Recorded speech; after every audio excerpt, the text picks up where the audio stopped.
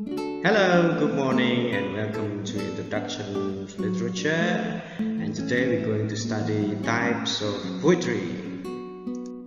Yeah, in this world there are many types of poetry but today we're going to study some of them. Uh, there are several types of poetry that we're going to study today which is epic poetry, sonnet, haiku, limerick, ode, elegy, epitaph, free verse and also ballad. Now, let's study the first one would be epic poetry. So, epic poetry, it is a form of poetry which is lengthy in size. Yeah, lengthy means long. And portray the protagonist in action of historical significance of great or great mythic, I suppose, right? So, it is the, the size is long, lengthy in size, and also it tells us about the protagonist in action. For example, we have Beowulf. We got a lot of ancient poetry. You can uh, read it by yourself. This poetry entitled "The Story." It's story about the Gilgamesh. So the poems about the Gilgamesh is the ancient heroes or kings uh, and he built something for the kingdom, for his kingdom, I think. Okay, so epic poetry will be lengthy in size, very long poetry, and portray hero in great mythic. The next one would be sonnet. The word sonnet is derived from Italian word sonetto, which means a small or little song or lyric it is very distinctive uh, kind of poem which have 40 lines. Ya. Sonnet itu khusus puisi yang terdiri dari 14 baris and it usually has 10 syllables in its line. Satu baris biasanya terdapat 10 silabel. Ya, contohnya sonnet 130 by William Shakespeare. This is a 14 line, 14 lines. Each line have 10 syllables. Next one we have haiku. A haiku is a poem has that has three lines. The line of such poem rarely rhyme with each other. Three lines without rhyme. Haiku. For example, Old Pond by Basho. Upon a frog jumps the sound of water. This is haiku, a poem which has three lines.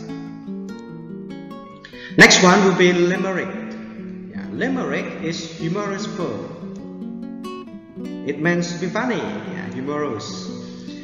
Written in five lines, yeah, five lines, lima baris, with a strict rhyme scheme of A A B B A rimanya harus A A B B A in which the first, second and fifth line rhyme while the third and fourth lines are shorter and share different rhyme. Contohnya poem From to Miss Vera Beringer by Lewis Carroll. There was a young lady of station, I love man was her sole exclamation. But when men cried, you flatter, she replied, oh no matter. Isle of Man is two explanation ya. Satu dua lima rimanya sama. Kemudian tiga dan empat punya rima yang berbeda. That's limerick funny or humorous poem next one is ode some people call it ode some people call it ode yeah, all this derived from Greek word agent, agent, which means to chant or sing, penyanyi, ya, untuk dinyanyikan. Ode is a literary technique that is lyrical in nature but not very lengthy, not very lengthy, ya, singkat biasanya. Not very lengthy. You have often read poets in which both praise people, natural scenes, and abstract ideas. Biasanya digunakan untuk memuji orang, memuji alam, dan lain-lain. Atau mungkin ide-ide yang abstrak adalah ode, which mean to chant or sing. Next one is elegy. Elegy is a sad poem usually written to praise and express sorrow for someone who is dead. Ya, elegy is a sad poem. Puisi kesedihan. Usually written to praise and express sorrow untuk mengekspresikan kesedihan kepada orang yang sudah meninggal. The purpose of the kind of poem is to express feelings rather than tell a story. Untuk mengekspresikan rasa kesedihannya, namanya elegy. Contohnya, a poem from Willow Tegan, the banana green trees look like clouds against the ominous black sky. Now the color of a ripening bruise, and I stood there waiting even after the first rock fell, infinitely pondering why the water burned. Yeah, this is one interesting poem. It's called Epitaph. An epitaph is a short text, very short, ya, sangat singkat, honoring a deceased person, ya, untuk mengerti orang yang sudah meninggal. Strictly speaking, it refers to text that is inscribed on a tombstone or plate. Ya, teksnya singkat, poemnya sangat singkat untuk mengerti orang yang sudah meninggal dan biasanya ditulis di nisan atau di atas makam ya. Contohnya seperti ini. Beneath this stone, a lump of clay lies stingy Jimmy Wyatt, who died one morning just at 10 and saved a dinner by it.